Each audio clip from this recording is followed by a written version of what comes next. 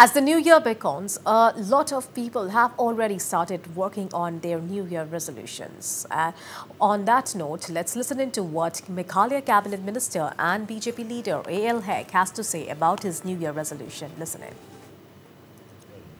My resolutions for the next year 2024 is we want the peace should prevail. People should live a mind without fear.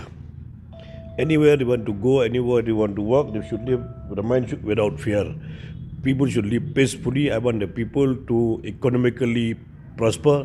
I want the people and uh, uh, educationally also progress.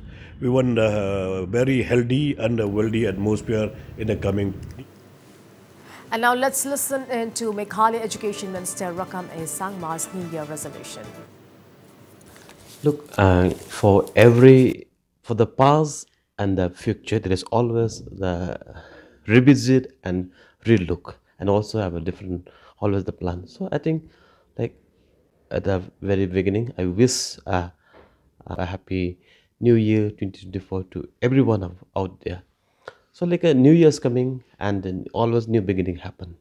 But let this I feel that even in the governance, we will see lots of new policy, new beginning, and new ideas will unfold.